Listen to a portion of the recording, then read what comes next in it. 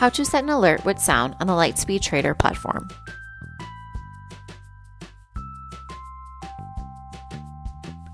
In this tutorial, we will demonstrate how to set up an alert on the Lightspeed Trader platform so that the alert pops up on your screen and has an audio sound play on your computer.